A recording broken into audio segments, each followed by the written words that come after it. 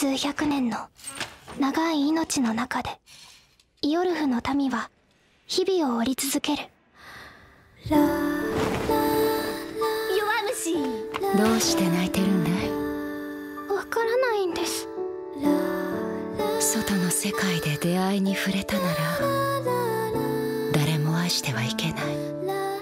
愛すれば本当の一人になってしまう一人ぼっちが一人ぼっちと出会ったか。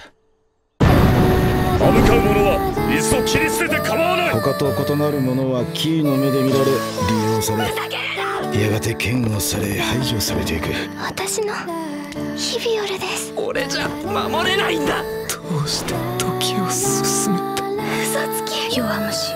あなたたちは死んでいくんだから。みんないつかはこの日が来るんだ。みんな死んじゃうの？一人ぼっちはあなたが教えてくれたんだ。いろんな悲しいこと。優しさを。苦しいこと。強さを。私のことは忘れて。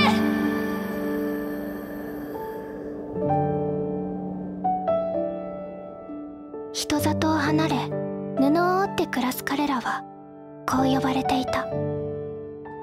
別れの一族と。大丈夫。